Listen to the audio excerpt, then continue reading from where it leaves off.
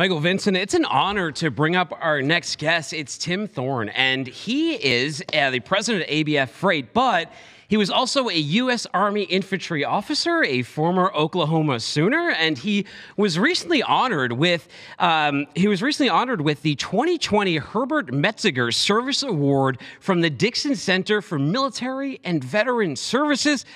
Tim, thank you so much for joining us on the air today. Hey, man, thank you for having me. I'm I'm stoked. You know, we're we're talking about something I'm really passionate about, so I appreciate you guys having me on. Well, let's start there. Why why so why are you so passionate about veterans affairs? We did touch on how you were in the infantry for the US Army, so I imagine that was that that's kind of where this all started. Well, you know, uh, not really. Uh, grew up in a military environment. Uh, I'm the son of a veteran. My father was a career airman in the Air Force. Uh, my father-in-law is also career Air Force. Um, I have two brothers that were in the Army, and my son went to the Air Force Academy and uh, spent five years in the Air Force, and also got out as a captain. So, um, you know, just uh, you know, just really passionate about um, what the Army's done for me and what the military's done for our family, and then um, you know, great that I'm able to connect that with with the job. Yeah, absolutely. I mean, uh, we know that you have you you won the Metzger Award, and then ABF uh, uh, uh, was also honored as a veteran-friendly company as well uh, for 2020, and, and I think a number of years before that as well. Can you talk about your personal transition from military yeah. to civilian life and how that motivated you? Yeah, I think uh, I think that that's that's quite an interesting story, and really uh, transcends to a lot of veterans today. And so, you know, if you think about the, the first probably half of my life was was all military, and so that transition uh, was really um, from the military civilian life was somewhat of a culture shock for my wife and I. You know, she was a military brat, like I mentioned, and she married me right after I went in the army, which was right out of college.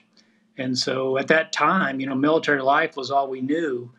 Um, but I was hired uh, at ABF in the, in the, early 90s and, and kind of felt at home there. You know, if you think about our industry, it's it's somewhat similar to, to some of the roles in the military. It's uh, hard work, as, as both of you know, uh, pretty good pay, uh, good benefits. You know, there's some nights and weekends, and I can tell you, uh, in the Army, uh, I spent a lot of nights and weekends playing Army. And uh, you know, I had a leadership role in the army, so this this really helped me in regards to uh, employee engagement, uh, things like uh, maintenance and safety. And uh, I was just used to living and working in a very diverse environment, and so I think all of this translates well into trucking. Yeah, I mean, if you think about the, the military, and I think why they, it pairs so well with supply chain is in military, you're repositioning assets, you're repositioning people, you're dealing with foreign governments, you're doing yeah. all of the things that we do in supply chain, uh, in a sense. I mean, obviously, there's there's also the whole infantry thing and yeah. the whole weapons thing. And we don't typically fight our trade wars with with weapons uh, on those kind of documents. But but there, there's a lot of similarities. So did you do you feel that a lot of military veterans that they make ideal candidates to transition from that military life to the supply chain? Well, you know, I, I certainly think so. Uh, when I think about the servicemen and women of today's military, I think they're they're well trained for all sorts of fields and industries. I mean, it's uh, it's it's the largest organization in the world. You, you think about uh, departments like uh, HR, accounting, technology, engineering, uh, the legal side of it, admin, safety, payroll, finance. I mean, if you even think about jobs like yours, I mean, there's a, the Armed Forces Network. Uh, there's the Stars and Stripes publication. There's all sorts of jobs there. And to your point, um, you know, beans, bullets, and fuel just don't just show up on the battlefield. Uh, I suspect the military manages the largest supply chain in the world. So it's just full of logistics professionals uh, that are just right for our industry. You know, I think about, uh, you know, some of us might remember the Red Ball or know about the Red Ball Express in World War II, or you can go back to the Civil War and Sherman's uh, March to the Sea. You know, in the Civil War, the the you know, our military and our country really depends on the, the supply chain and, and specific to trucking. Uh, the military has a lot of heavy equipment, like you guys talked about. Uh, most of it's diesel, and I suspect you, that sounds familiar. Um, you know, they have big trucks like we do, as well as tanks and tracks, and you know they have to have drivers, they have to maintain those, and even the working environment's very similar. So you know, I agree. There, there's a there's a lot out there for us in, in the veteran uh, space. Absolutely. Well, and Vincent, I, was, I just I, one note before ahead. we move on from yes, that because please. he's talking about the space and the military thing. Is yeah. I don't know if you guys know this, but the box that changed the world, Malcolm McLean, he made the modern standardized shipping container. That's correct. But the military, what he took was notes from the military mm-hmm. who themselves were using standardized containers to send munitions right. and goods throughout the world. Right. Right. Yeah. And I and I was going to say, I mean, many many battles in all wars and, and most wars were won because of logistics or sure. lost because of the disruption of the supply chain yeah. logistics. And I agree with you. Veterans, military are very, very good for this industry and many, many industries as well. But let's talk about why why the urge to to uh, help them transition and bring them into ABF freight uh, you're, you're overcoming. Let's talk about the issues that they face. That is obviously the the motivation for you bringing them in and trying to assist them uh, in changing. What are those issues that they see coming out of military life into civilian? Well, you know, just just I guess similar to what what I saw. You know, as a bit of a culture shock, and um, you know, you're coming into to a world that that most people don't even know what you did, and uh, that that's an issue when you think about uh, most civilians haven't served in the military. And so all you think about is is bullets. You don't think about everything else that they've done in the military. You don't think about how uh, educated they are, uh, how much training they've had, how they've worked in these different environments. And and when I think about veterans working at our company, I look at it in a couple of different ways. Um, the first, of course, I mean, is is is I, th- I, think it's just a great business decision. And the second bucket would be, you know, it's it's it's the right thing to do. And so uh, just just kind of looking at the numbers, you know, there are, are about a quarter of a million uh, servicemen and women transitioning into the civilian world every year. And uh, you know, at, at ArcBest and ABF, you know, we don't we don't need all of them, you know, but um, we we've been around about 100 years and so we have an annual need primarily due to retirements. And so when you look at the specific veteran uh, let me let me give you uh, some statistics and this this comes from the department of labor and other things. But uh, high school graduates 67% of high school graduates apply to college. Only 29% of those meet the standards for entry into the military service so you could say that it's it's harder to get in the military than some of our colleges, and I think mm. what this does for me is it, it speaks to the raw talent that, that's available to us and available to our industry.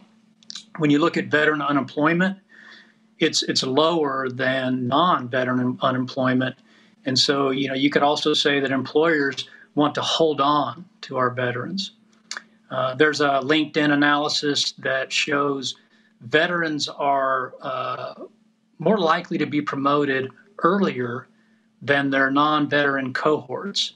And so when I think about you know just the numbers, uh, hiring veterans is a good business decision, and for for me it's really no brainer. And then you know we we think about uh, you know our company has a, a values driven culture. It's based on core values, and a lot of companies do, and that's what we look for in candidates and and the military has core values too, and so uh, you know it really kind of aligns well with our recruiting efforts. Military service men and women, and if if you've read any military books or studied any, any history, you know it doesn't always go perfect. And so think about our industry and what we have to do. What what do we do? We find a way to accomplish a task or mission.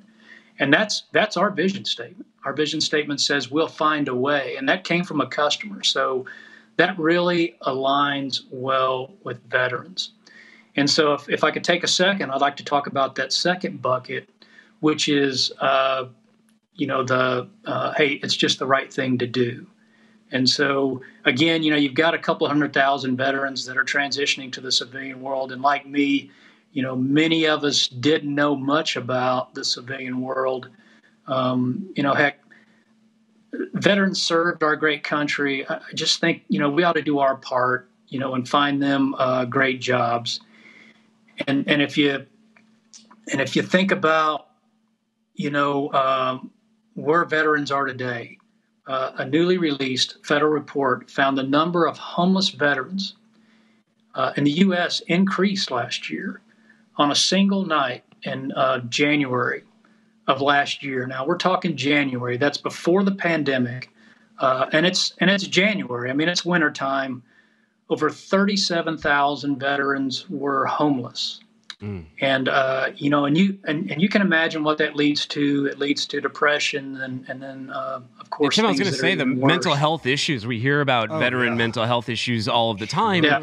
And uh, regardless if you're a veteran or not, just getting any help in America for mental health issues has been a challenge. But with PTSD and what we're learning about it now, and what a lot of veterans have been through, um, it seems even more urgent than ever. Now we're almost out of time, but if a veteran's listening to this and we're doing our job and they're hearing this and they say, you know what, ABF ABF, ArcBest sound like great places for me to go. What's the next step? What do they got to do? Yeah, I think I think the the next step would would you know the the great part about the military today is that they can connect with us really in an easy way. Um, they can go to jobs.abf.com, jobs.arcb.com. We have uh, connected by Zoom and other uh, uh, media uh, with servicemen uh, and women all over the world. We we connected with uh, someone on a, a, aircraft carrier that was deployed in the Middle East and did a Zoom interview, and so uh, it's it's uh, it's really easy to connect with us. They also have a, a, a, something called Skill Bridge, and, and all the military folks know about that, and so that's that's the way they can connect with us. Tim, thank you so much for your service. It has been an honor talking to you. Thank you for joining us at FreightWaves Live at home, right here in Chattanooga and on your computer screens everywhere across the globe. Maybe even on that aircraft carrier. Yeah, maybe even on an aircraft. I hope so. I hope so too. Thank it's, you so much, Tim. It's been a good time. We got a little more coming up. Stick around.